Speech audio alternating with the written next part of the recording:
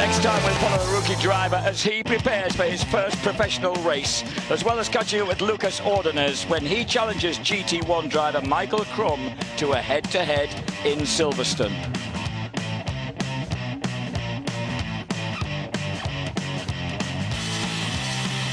Three gamers, one team, one race.